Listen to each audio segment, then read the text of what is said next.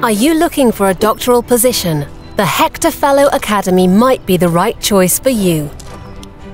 Did you know that you can apply for a position with one of the Hector Fellows as well as with one of the winners of the Hector Research Career Development Award? Did we gain your interest? Then watch out!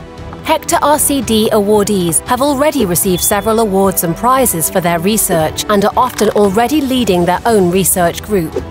The award was founded by the Hector Fellow Academy to strengthen outstanding scientists in their research and to support them on their way to a professorship.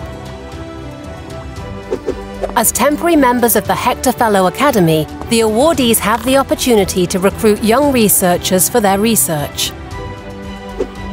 Like the Hector Fellows, the Hector RCD awardees represent one or more disciplines and fields in the STEM subjects medicine or psychology. You can either apply for an advertised position or submit your own research idea.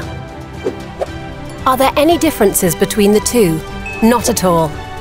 It does not matter whether you're doing your doctorate with a Hector Fellow or a Hector RCD awardee.